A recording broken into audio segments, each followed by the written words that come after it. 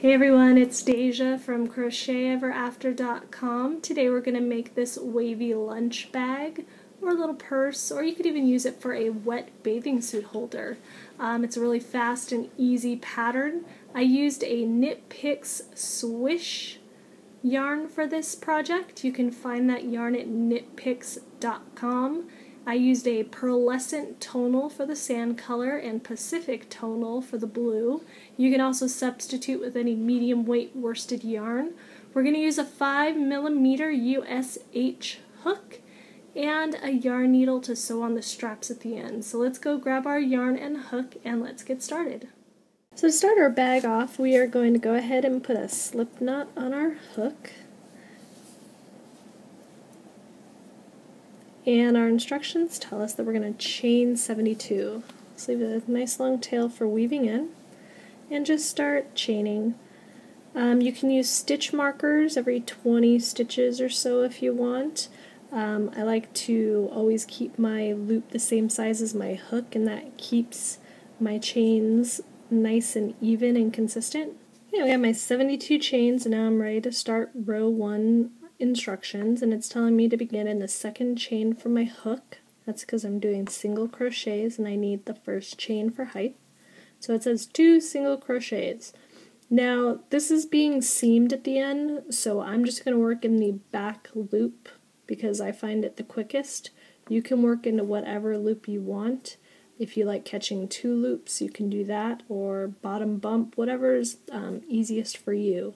I like the back loop when I'm going to be seaming my work at the end, so that's what I'm going to use. So it tells me that I'm going to do two single crochets. So I just enter my hook, pull up a loop, yarn over, and finish off the single crochet. And then I'm going to do two half double crochets. So I yarn over first, insert my hook in that next chain, pull up a loop, yarn over and pull through all three. Do that again. My next stitch is going to be a double crochet. I'm going to do two of those. So I yarn over, insert into my next chain, pull up a loop, yarn over, pull through the first two, pull through the second two, do that again. This is creating the ripple wave effect that you see in the bag, all the different size stitches. Next, we're doing three treble crochets. So I yarn over twice, find my next chain, insert the hook and pull up a loop, yarn over, pull through the first two, yarn over, pull through the second two, and then pull through the third two. I'm going to do that two more times. This is the crest of our wave, or the summit, or the top of it, whatever you want to call it. Now we're going to start working our way back down so after these three, we go back to our double crochets. So we're going to do two of those. Pull through two, yarn over, next chain. This is a really simple repeat. Just have to remember what um, stitch you're on. And if you get lost, let me show you kind of how you can see your stitches um, an easy way to, if you can't tell the difference between like a double and a treble. So when you look at a single crochet, you're just going to see two little V's, and that's going to be your single. When you see a half double, there's the two little V's, but there's a little bar that goes right above it. So you can look for those V's with the bar to find your half double, and then you're going to be at your double and the double has one bar across and you have two V's and two V's. Then you'll see the the treble has two bars across. So if you get if your hook falls out and you put your work down, you pick it back up and you're like, "Oh, how many trebles or doubles did I do? What part am I at?" Just look for those bars that go across. You're going to see the 2 for the treble and the 1 for the double. Those are the kind of the stitches that sometimes it's a little difficult to see what you've done already. So if you're losing count or you didn't um, catch it very easily, that's how you're going to check those out and count them. So now I'm doing two half doubles. Now for the bottom of my wave, I'm doing three single crochets instead of two. This is going to be the bottom, just like I did three trebles, I do three singles. Then my repeat starts over. So now I'm going to go back to two half doubles, two doubles, and three trebles. And I'm going to continue that all the way across, going up and down with my stitch height to make my waves. So we're going to work across the entire row in this fashion. And then at the very end, instead of three single crochets, we're going to have two single crochets, just like how we started our row. So go ahead and keep on working across your first row, and I'll meet you right at the end. Now I'm doing my last two single crochets of the row. And I've got 71 stitches total. Remember you only skipped one chain at the beginning.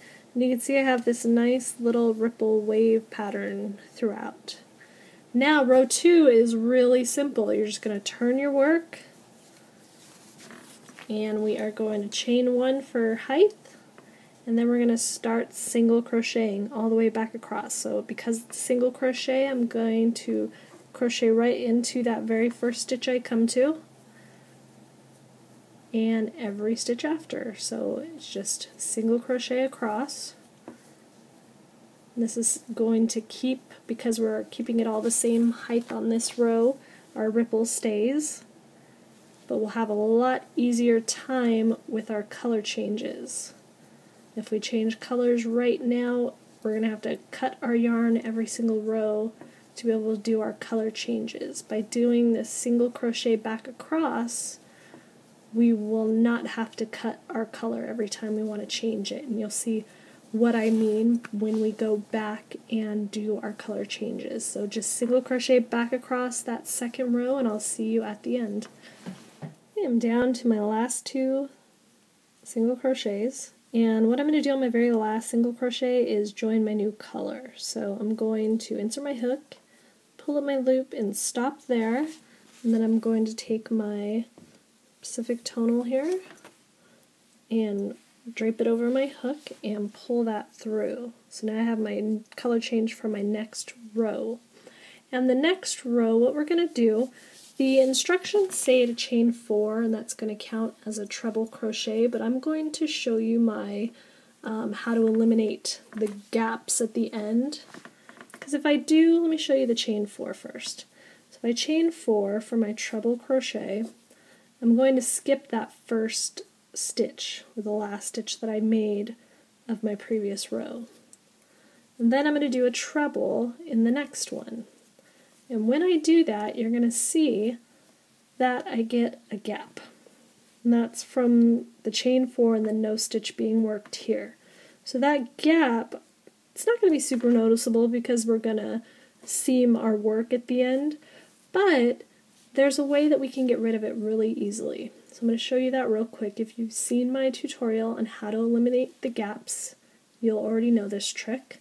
But what you're going to do is you're going to pull out your chain as tall as a treble crochet. just kind of guesstimate, it doesn't have to be perfect. And then you're going to do just a little chain one. Then you're going to do your treble in that very first stitch. So if you're just going off of the written pattern, this isn't going to be shown here. This is just a special stitch for the viewers at home. And what that does is it eliminates the gap, but it also doesn't give us a really big bump if we were to work a chain four and a treble in that first stitch. So it's just a little trick that helps eliminate the gaps and makes it a little bit cleaner looking along the edges. So every time I do my treble as my first stitch of the row, I'm going to go ahead and do that really extended chain one. Now, after I've done two trebles, I am now going to do two double crochets. So we're kind of doing the opposite stitch of what we did in our very first row because now we're going to have the waves come together and meet. And that keeps everything rectangular at the very end. So I'll have two half doubles after that It's the same exact stitch pattern as row one, it's just we're starting on a different stitch. Instead of starting on a single crochet, we're starting on the treble crochets. So when I get to my singles, I'm still doing three single crochets. And those are going to go right on top of the three treble crochets that we did in row one. And then I'm going to start working my way back up again with two half doubles, two doubles, and then three trebles. So same exact pattern, very easy. You're going to do this all the way across again. And notice on my color change, I did not fasten off my old color. Don't cut your old color. We're going to easily add it in when it's time to change color. So leave it there. It's a little bit more cumbersome when you're carrying your project around, but it's a lot easier because you don't have to um, weave in all of those ends at the end. So just continue across. I'll meet you at the end of this row and we'll go on to row 4 instructions. we're down to the last four stitches of our row 3. We got two doubles and two treble crochets.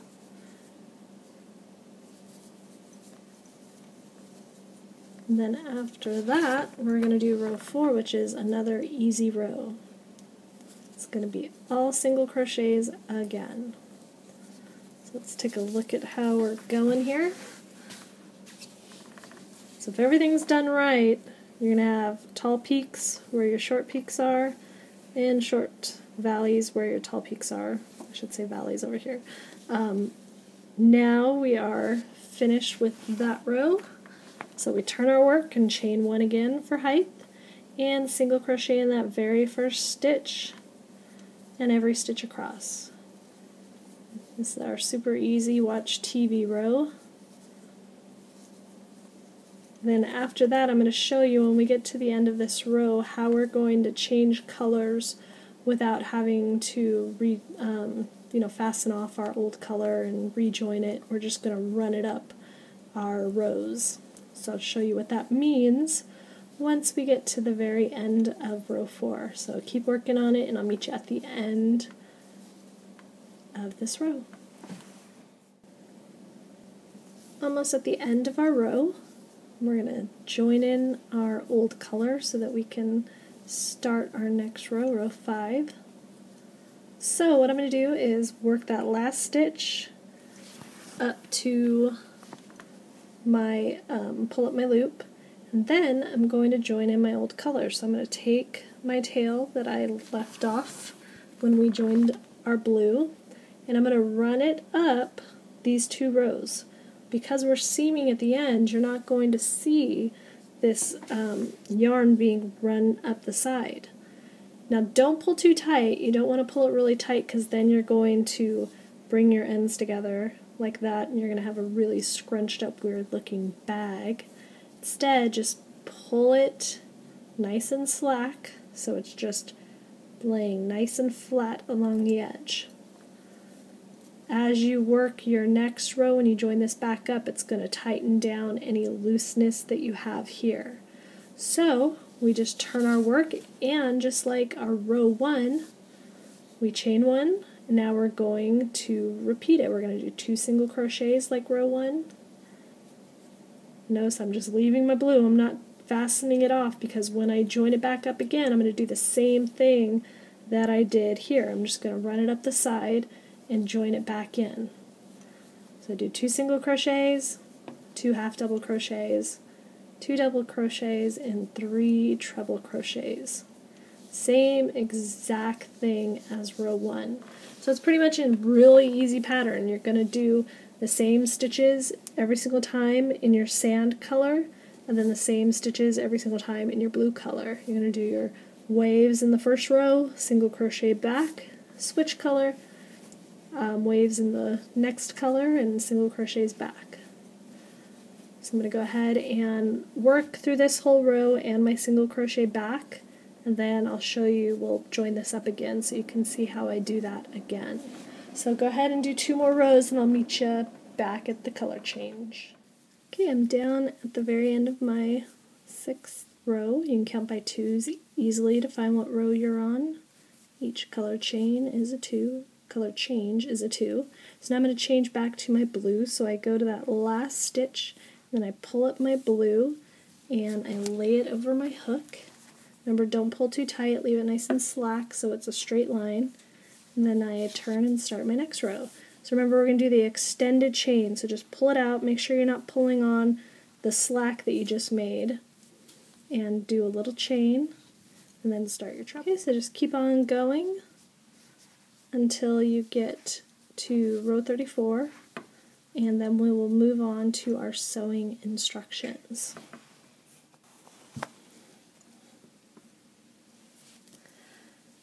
I am now down to the last two stitches of my row 34, which is my last row of the actual bag. You can see it all laid out here. Um, I'm not going to fasten off after this row because I'm going to use this loop to continue to make my join. Now I haven't fastened off my blue color yet, I just wanted to show you how I do that. So once I join my sand color in, I just have the tail hanging off. So I'm just going to cut a long enough tail to be able to sew it in nice and easy. And I'm just going to leave it alone for now. I'll wait till after I seam everything up to go ahead and um, to go ahead and weave all the ends in. So let me show you my joins on the side so you can see how I ran my um, extra tails kind of up the side as I changed colors. They're nice and slack so I can easily pull my bag any way I want to. Now I am going to get ready to seam the bag. So it says to fold it in half. So to begin our single crochet seam, you can see that my hook is in the back of our two layers.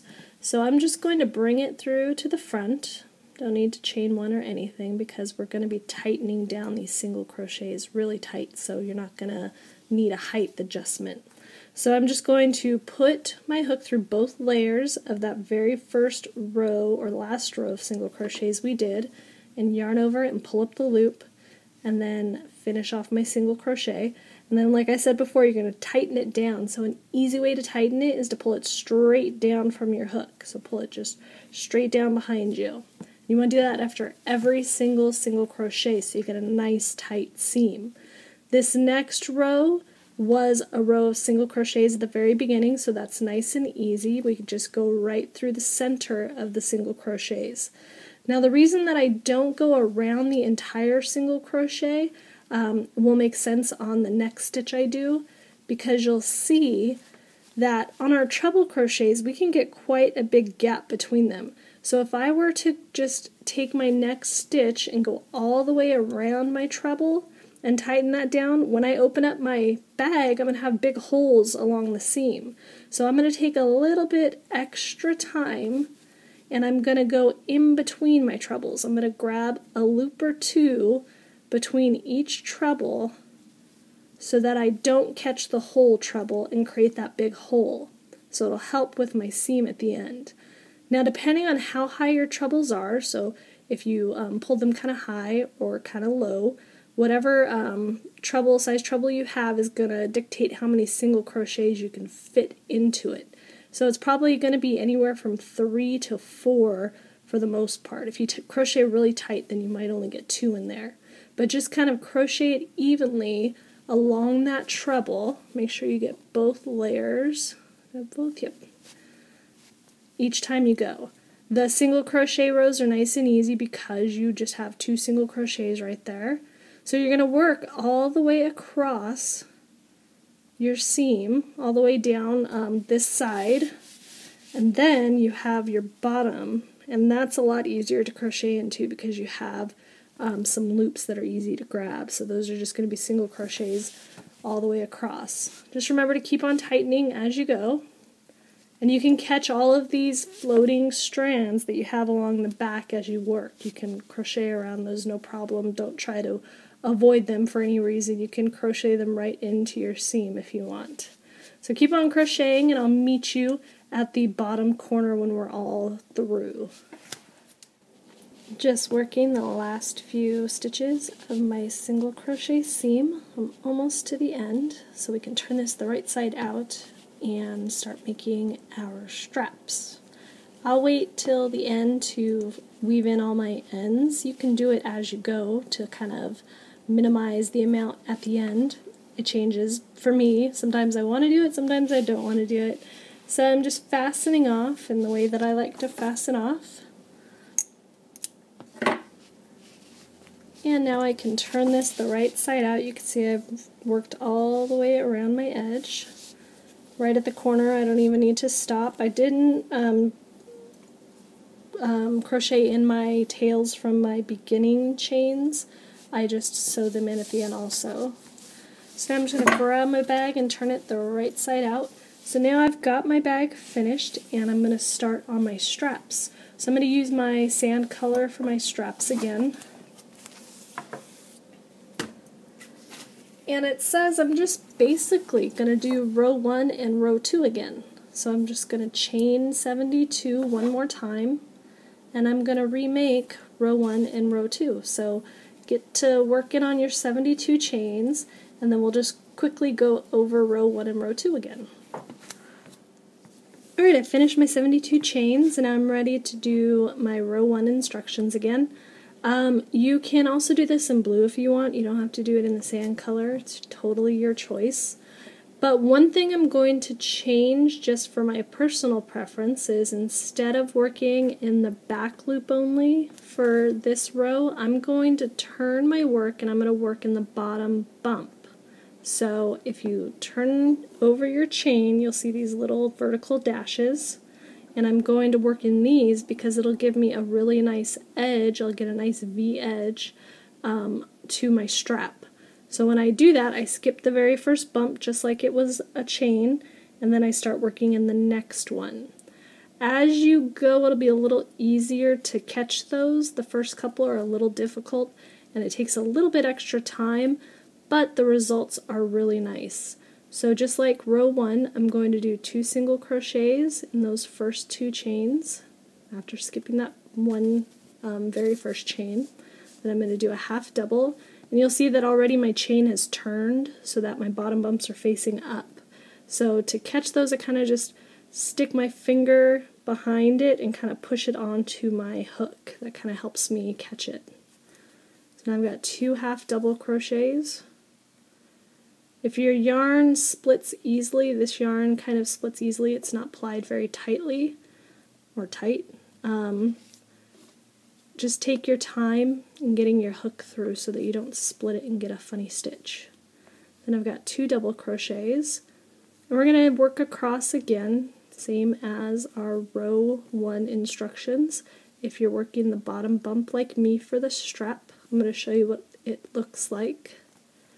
So you can see that both sides I have nice V stitches. So on this side that I was working, and then my foundation chain. So it's going to give me a nice pretty um, strap edge instead of just going into that back loop. So I'm going to keep working our um, pattern. Now I have three trebles all the way to the end of the row and then we're going to turn our work and do our watch TV single crochet row 2. So I'll get to the end of this row and meet up with you. I'm doing my last two single crochets for the first strap. Then I'm going to turn my work and do my row of single crochets back. And I'll just give it kind of an extra um, thickness. I could just leave it at this, but it's kind of thin. I want it a little bit thicker, so I'm going to just do another row of single crochets like row 2. Once I finish this row, I'm going to make a second strap and then we'll come back and we'll attach these. So if you want, a good thing to do, because you're going to end on each side with a, um, tail, your beginning tail, and then at the end of this row you'll have a tail on the other side. You can leave those kind of long and you can use those to attach the straps to your bag. So that's also a good thing if you have long tails already. Otherwise, you can just always sew it in afterwards with a length of yarn. But that's just a little pointer if you want to do that. So we'll finish this one, make one more strap, and then we'll come back and attach our straps. I've got both of my straps done, and as you can see, I have a nice edge on both sides from using that bottom bump of my foundation chain. Now I'm going to sew my straps onto my bag. So I just put my yarn on a yarn needle, and I'm going to do it about five stitches in. So I'm just going to count from my seam, one, two, three, four, five, and I'm not going to join right at the top. I'm actually going to go in between that last row and the row before, just so I can get my um, get a little bit more reinforced seam. I'm going to go across so you can see it pulls it down below the line of the bag and then I'm going to go one stitch over and pull the needle through and then put it through the center of my strap so that way it first starts to secure it then I'm just going to do that again I'm going to go to the next stitch that I have and go one stitch over on my bag and then I'm going to bring it up. Oops, I got my strap in there. Then I'm going to bring it up and do another row of stitching right above. That way I have kind of a double reinforced seam that will be nice and strong. So you can do that a couple times if you want, if you want to make it super reinforced, totally up to you. Or attach it however you most um, want to.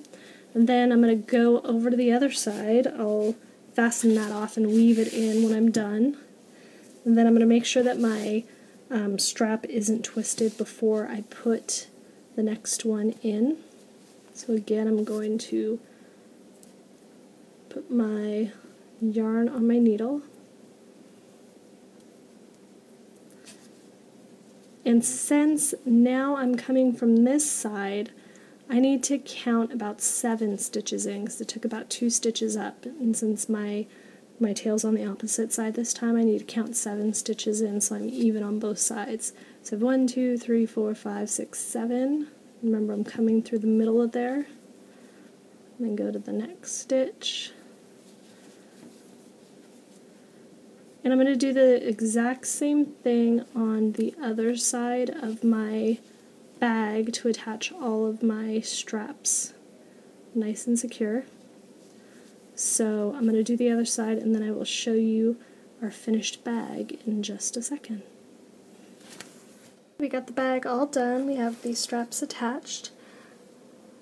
It's all ready to be used for a lunch bag or whatever it is we may want to use it for.